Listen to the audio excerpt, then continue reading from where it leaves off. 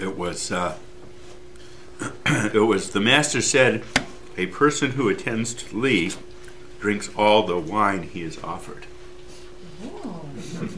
Excellent. That's my favorite. There you go. Well, it's the only one you've heard.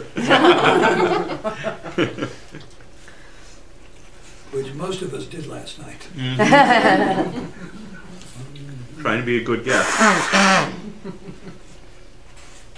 To a good host. Amy, do you have an analect? I do actually. Um, busyness equals a scattered mind, which leads to a fractured self. and it was interesting because I was, I wrote that and then I was, I, I know I talked with you before I left yesterday about what happens when roles conflict or when one role takes away time from another role. And so I kind of left here, I guess, with a more positive feeling. But I, I know personally, I'm often feeling that my my various roles. I never thought of it in this way, but with using this kind of new language, that my roles do conflict sometimes. So my role as a wife or as a pet parent, because I don't have kids, but I have lots of cats. Um, the time for that those roles is often eaten into by my role as an educator, because I'm bringing so much work home um, and that my role as an educator is kind of always there with me, even when I'm not in the classroom or on campus. And so there tends to be conflict in this. I feel pulled in many directions sometimes. So, so I'm trying to come to a positive way of thinking about that with this idea of roles. Good. I, uh, my analect is the same as, I mean, we're thinking about a similar thing, similar theme, but, so the analect I wrote was, uh, when Carl, because I tried to like mimic, right? so, so it goes, uh, when Carlos told Jay about all the things he had to do before he could continue his studies in philosophy, the master responded, Great, your philosophy is sure to be rich and practical. That's a good one. Uh, when Carlos told Jay about all the things he had to do before he could continue to- his, his studies in philosophy, the master responded, great, your philosophy is sure to be rich and practical. And um, he actually did say that, my friend Jay. And, and so the idea there being that although you don't, you don't notice it because you're so busy doing all these, playing all these different roles, you have all these different hats on, right? Um, it co- it'll come out in your work is the idea. And so the uh, Proust's uh, madeleine, right, in Remembrance of Things Yep. Past, right? It's the, that's the idea is that you're doing all these other things, and at the end, you'll all of those things you, you don't at the time you don't realize how much they contribute to what you're. Uh, I don't know, but that's that's what comes to mind. One reason among several, that's such a very difficult topic to think clearly about, especially the way Amy framed it, is that for a Confucian, there isn't anyone to think of the conflict. Uh, so you're still suggesting there's an individual Amy who has a number of roles. I guess so, yeah. And what am I going to do with them?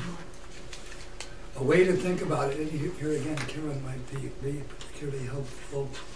Uh, think of the play Antigone. Mm-hmm. We just did it. I've been often thinking of that. And, and, We just did and it. so we have, the way we tend to think of it, okay, what's, is Antigone gonna take seriously her role as sister and go out there and bury, get her brother?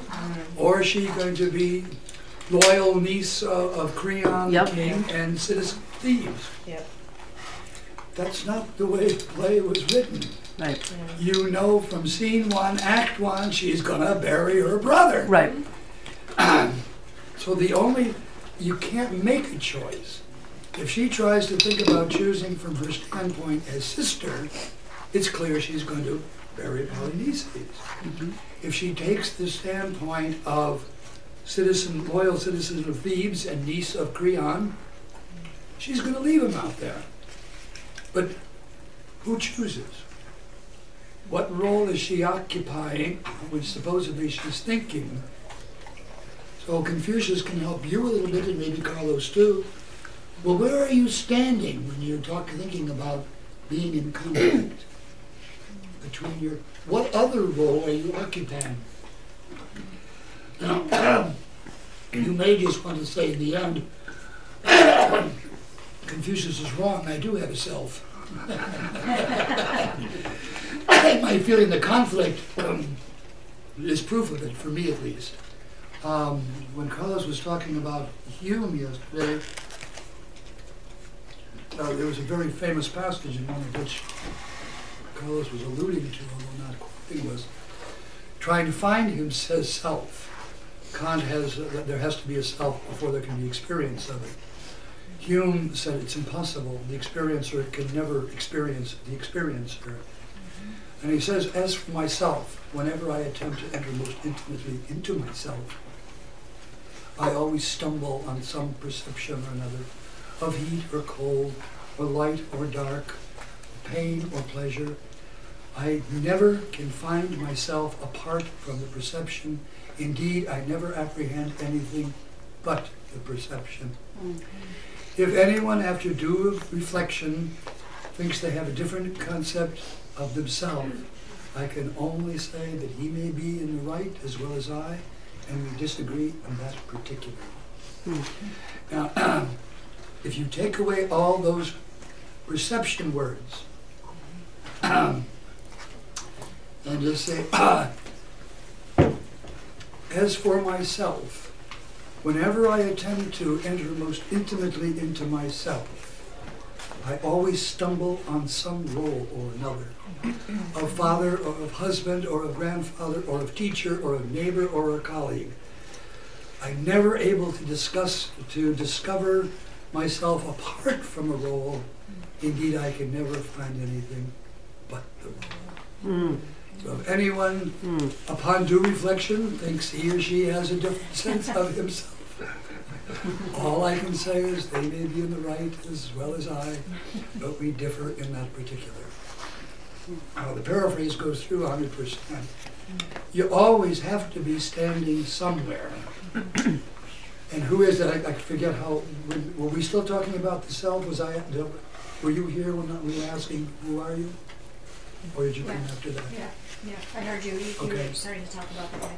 That's, now that I say that might, you might end up saying, well, okay, that just shows Confucius is wrong, but it might give you a different way of wrestling with the problem mm-hmm. of what it means to be in conflict. Mm-hmm. What is it, where else, how do I, because you, the only person that can possibly answer the question is you. Mm-hmm. Nothing else will possibly answer the question that you're trying to raise. Why do I feel these conflicting pulls? Where am I when I feel these, and what's the I anyway? What is this I? I think the answer probably comes back to um, a different role. um, the role of someone who is raised Catholic and then feels Mm. guilt about everything. So I feel guilty when I'm when in one role, not being in another role, and guilty when I'm in the other role being not the other. one. So Well, now I'm, I'm feeling guilty because no, uh, this was this was a very like what Henry was just talking about was a very difficult uh, concept for me to understand, right? And I was grappling with it as I was writing my my thesis, and I was walking my daughter home from kindergarten one day, and I was ex- I was telling her what I was working on in in my thesis, and I know she's she was five at the time, but it was kind of cool. And so I'm, I'm walking her home, and I'm trying to explain it as in, you know in the in a way that she would understand it. And um, and then I, she said, she said, right, Dad, my eyeball can't see itself seen. Whoa. And when she Whoa. said that, when she said that, I completely understood it. Yeah. It totally uh, allowed me to grasp Yeah. what I was working on. So my thesis was plagiarized. And that made me feel so guilty. Wow, that's very cool. You know, since we brought up uh, the Greeks, what what about competition? I understand that the word competition comes from ego. I, you know, it's unavoidable. But we, we did have the imperial exams. It was competitive. So how does the idea of com- I'm, I'm starting with, you know, the idea of um, esteem of others, you know, team A, et cetera, is sort of parallel to some degree. But I'm just wondering about competition. Exemplary persons never compete. That's one of the analects. Uh, you may see they do at the archery contest, but even there, they bow before each other. They, uh, general, the exemplary persons never compete. They just do their best. They do their best. So when you've got the tiger mom syndrome, urging, um, you know, son or daughter to do their best, um, in, for honor of the family, um, and et cetera, then that's not, there's, it seems though in modern day that there's more of a competition aspect to it. Just like you don't have perfect Christians, you're not gonna have perfect I guess so, yeah, you're not, yeah. How it plays out. That's the point. Yeah, Yeah, yeah. theory versus practice. Yeah. The,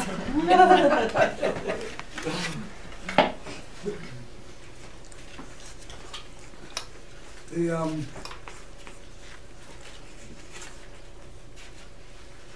the exams were not competitive in the way we tend to think of competitive. Um,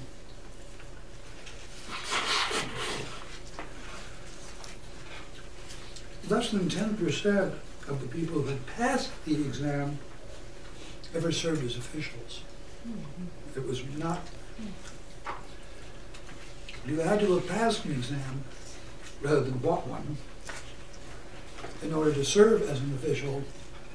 But overwhelmingly, it was prestige. Mm-hmm. It was exemption from certain punishment and taxes for you and your family. You mean just having taken it? Take- And passed it, Oh, past that.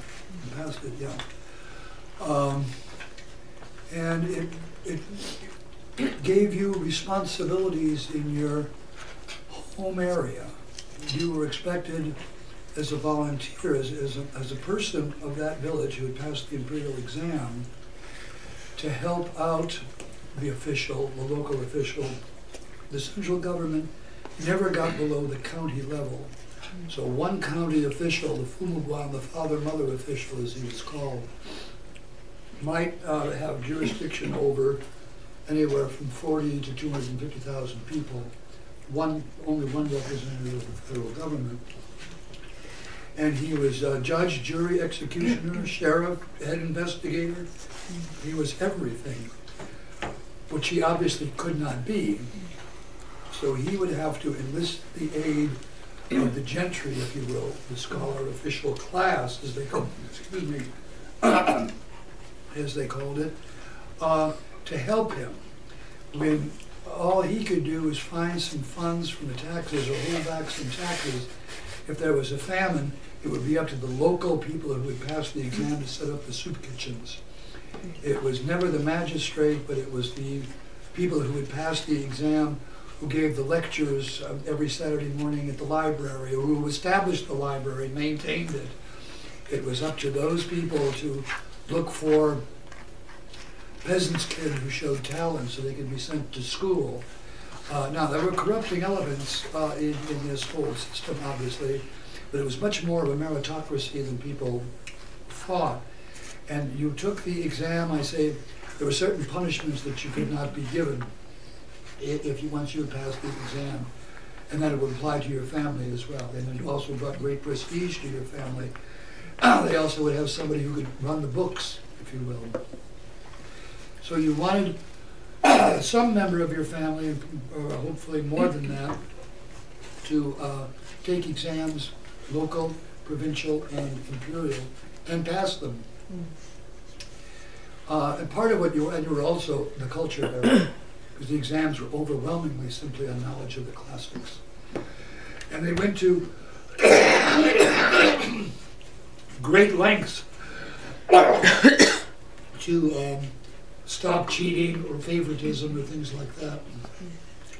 Numbers would be assigned for an exam, and then they'd be reassigned, and almost all the exams were marathons. Uh, you'd be in this little cubby hole, and you'd get a cup of tea and a bowl of rice at seven in the morning, and you'd write until eleven o'clock, and you'd go out and walk around the block from there, come back in, shut the door, take another. Uh, Sometimes the exam at the imperial level, you'd get eight characters, and that would be it. And then you'd be asked to write maybe the two hundred characters that preceded it, and the two hundred characters that followed it. Wow. Then you were asked to write a commentary on it after the style of another commentary. and then you'd be asked to write your own commentary. then you'd go on the next one. And this would continue for a week and a half. you had to do this. They said changing numbers all the time to make it impossible, you know, to kind of to cheat or And, and who um, marked them? Previous. Yeah. high officials from the Bureau of Examinations. Yeah, it was uh, quite an elaborate process. Indeed. And, and of course, everybody sat still for it because it did mark them as a distinct class. But the class was not hereditary. That's was, the was unusual. And that's why Marx referred to the Asiatic mode of production in part. They didn't develop like they were supposed to. The people who ran the place did not own the means of production. Uh, Okay, that one. Means the wish. So that's why Marx referred to it as, You had no production. Well, because he didn't have the problem. Marx is famous for one thing, the history of capitalism. That's what he is most deservedly most famous for. Carlos mentioned uh, yesterday that Marx didn't like to talk about morality. In part, that's because also he didn't want to talk about what high communism was going to look like. He didn't know. He just said at least the fetters will all be gone, and who knows what human capacities will come out then. but Marxist communist, you're not going to get any picture of what utopia is going to look like from reading the collected works of Karl Marx uh, at all. You, you won't, won't find that. Um, But it was, the thesis then became uh, by um, uh, horrible human being, scholar named Karl Wittfogel, wrote a book called Oriental Despotism. And he was trying to apologize for, me. he was a horrible, disgusting human being. Uh, he was head of the German Communist Party. He was a leftist who of the god that failed. And a, a, a German peasant helped him escape from a concentration camp. He, he certainly would have been executed early on had he been kept in that camp much longer. And that peasant was also able to get out of Germany and come to the United States. The, he- the peasant had been a, a party member, a German party member, but his best deed was getting Wittfogel, the head of the party, out of the uh, concentration camp and then help smuggle him out of the country. And after Wittfogel came to the United States, and he turned to the far right, you know, the FBI says, how many communists you know, how many communists, how many communists you know. He fingered that peasant. He fingered that peasant. So the rest of the peasant's life, he had to be, you know, visited by the FBI every three months or every, I don't know how often it was, but he was living in a small town in Minnesota, in Minneapolis, um, Minnesota. This despicable person. Um, but anyway, he argued that the uh, that Egypt and India and China were called hydraulic societies. they depended on water control for irrigation of their crops, and therefore the people didn't who ran it didn't have to own the means of production. They could control the essentials of production because they could had the monopoly on water control. They could effectively run the country. That was his excuse. Uh, nobody pays much attention to that book anymore because the um, uh, it doesn't work for most most of Indian history or Chinese history or Egyptian history for that matter. But that's what it was. Marx just knew that Asia was not going through the stages of. Um, he didn't even think it had, there was a feudalism that is what the Asia production.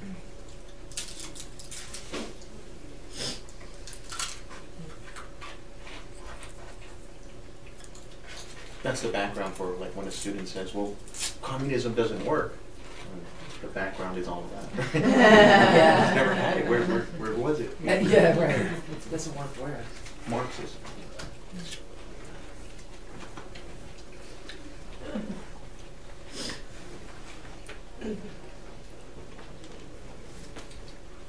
The famous joke about, yeah, in Moscow, um, a student asking the party teacher, what exactly is capitalism? How could you just describe it very briefly? He uses exploitation of man by man. And what about communism? It's the other way around.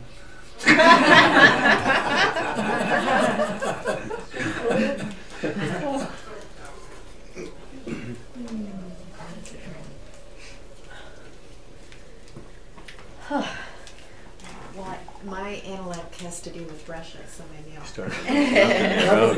Okay. I gotta, Uh, I'm gonna make Vlad- myself uh. Vladimir Putin invaded Crimea. Shelley asked President Obama what should be done.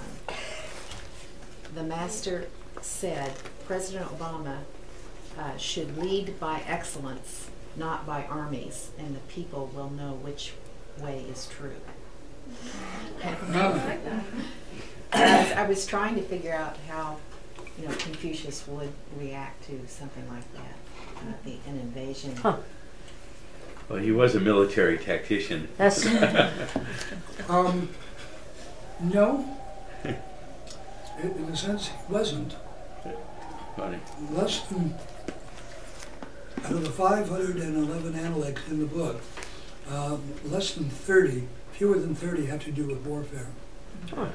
Um, which is interesting because the period that begins shortly after his death is known as the period of the Warring States. yeah. For two and a half centuries. There is huge wars going on all around him, and they get more intense when when Mencius comes and Xunzi, they don't ever talk about it. The Mohists talk about it, the Taoists talk about it, Confucians don't talk about it. Exemplary people don't fight. Uh-huh. It's a barbaric way to behave. It's, I just don't do it. They are occasionally obliged to, but and Confucius is explicit. I don't know much about military matters when he's asked about it. I don't do such things. I know a little bit about rituals. I don't know anything about military matters. And then he leaves that state the next morning. it just goes, it goes away. Uh, um, he would probably say, Shelley made a mistake in asking for advice from Barack Obama.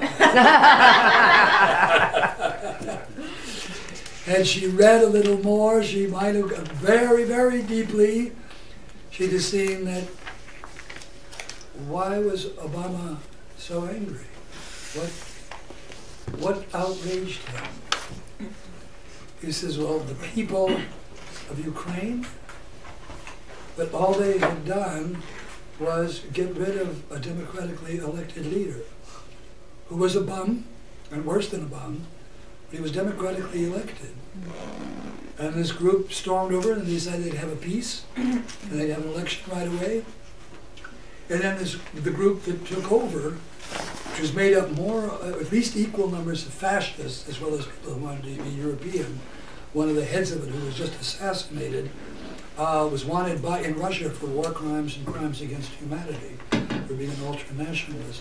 He was one of the big guns in the protests in Kiev, uh, not to associate with Russia. That night, the peace, the truce only lasted one night, and the parliament, which was really no longer had been dissolved, was then recreated and fired Yanukovych. I don't know whether that's legal to do or not. Uh, they didn't even try an impeachment trial. So Yanukovych goes to the, to Russia. Crimeans vote. 80% turn out to vote. 98%, 92% vote to annex with Russia, and somehow that's illegitimate. Putin shouldn't have done anything, even though the his largest naval port is right there. Imagine Barack Obama um, if the Hawaiians' secession movement grows much larger. You can imagine Xi Jinping trying to help the Hawaiian. What's, it, what's Obama going to say? Well, that would be illegitimate. Uh, we need the naval base there. We need all the nuclear weapons that are stored in the mountains, and it's just uh, you can't have a breakaway province. Well, then why did you applaud your predecessor Clinton having Kosovo separate from Serbia without any election? At least the Crimeans had an election. They just go on and on. What? Why did that come about? Not even a thank you, because it was Putin who saved Barack's backside by telling, make brokering the deal with Assad and the Syrians. We'll get rid of the weapons. I mean, that took a lot of egg off Obama's face. That's a hell way to give thanks. So, I give away another one of my biases. Next time Shelley have interesting moral question with political overtones, ask Noam Chomsky.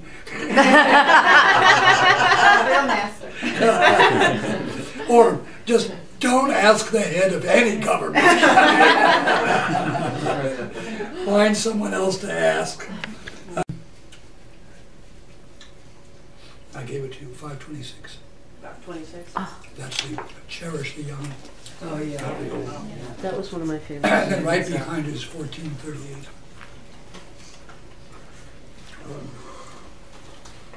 Who is your master? The gatekeeper says. Lu, uh, Kunza of Lu, oh, isn't he the one that knows he can't succeed but keeps trying? That's it. I have to excuse myself, I have to be somewhere at 1.30, but I want to thank you so much. Yes, thank you. I was telling Donna, we just had a professional development day, which was basically pedagogy. And I was thinking, this is the kind of thing that faculty really need to keep your mind alive. Oh, it's So been thank so so great. much. Thank you. Thank you. Yeah. And excuse me for running out. Yes.